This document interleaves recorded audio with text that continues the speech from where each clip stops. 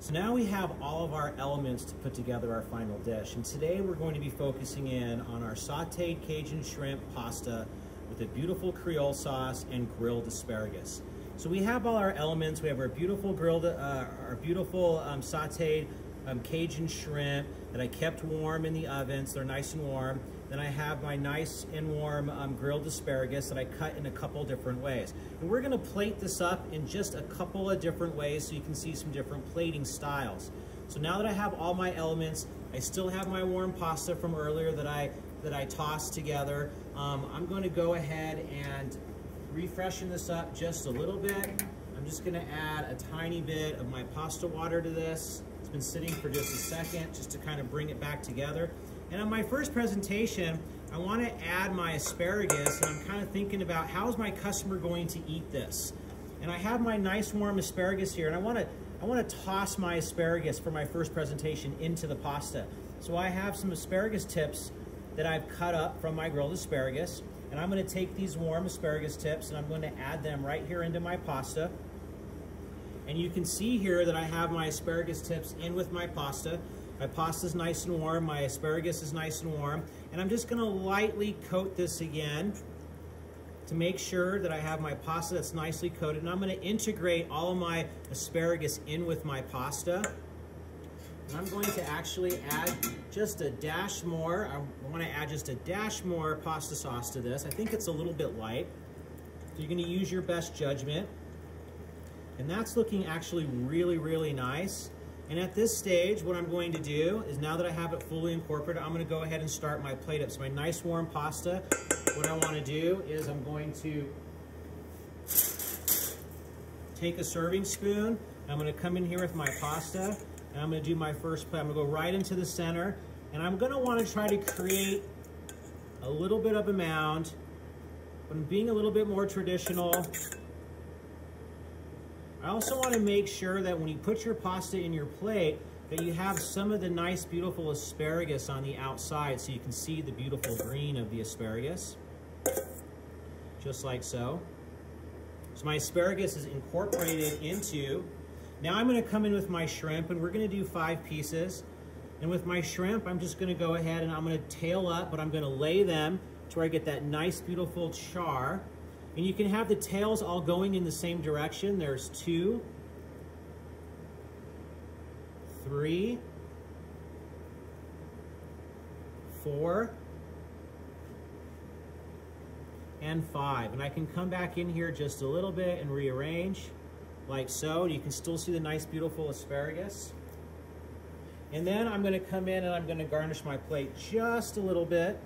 And I have some nice shredded Parmesan, so I'm gonna come in here and I'm just going to lightly put a little bit of shredded Parmesan just over the top here of the pasta like so. You do not want to cover all the beautiful ingredients, but just a little bit. And I'm going to take a little bit of my Cajun seasoning. But before I do that, what I'm going to do is I'm going to make sure that I wipe my rim off just a little bit here.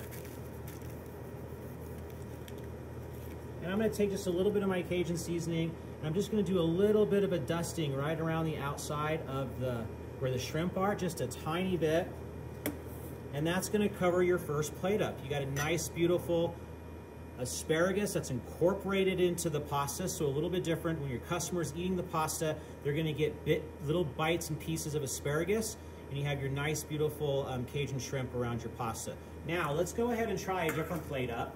So what I'm gonna do is I'm going to heat up my uh, pasta here for just a second in my boiling water. I want it to be nice and hot.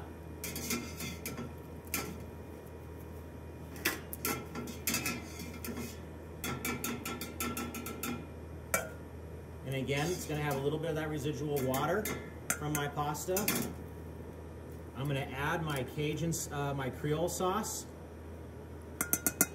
And again, I just want to make sure that I'm being very delicate with this and I'm going to toss my pasta with my Creole sauce. And again, want to make sure that I get nice coverage. Um, it looks a little bit light to me, so I'm going to add just a little more pasta, a little more uh, sauce to it, Cajun sauce. Get a nice coating.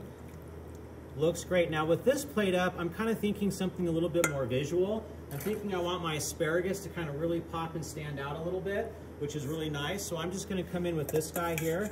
I'm gonna start off with my pasta, same process. I'm gonna do my pasta in the center.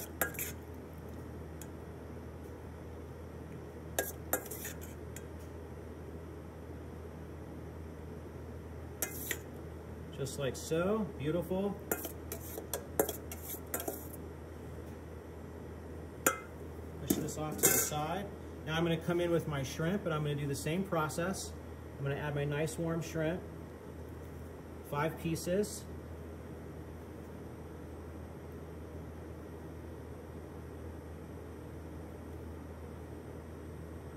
Make sure that they're spread out evenly. Now I'm gonna do something just a little bit different with my asparagus here.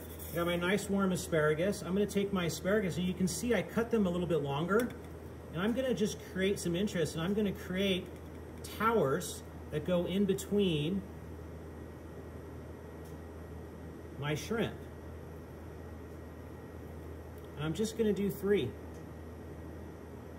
Just to create a little bit of height and a little bit of a different presentation.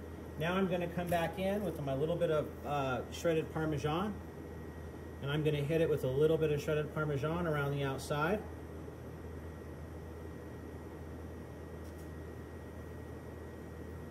Just like so.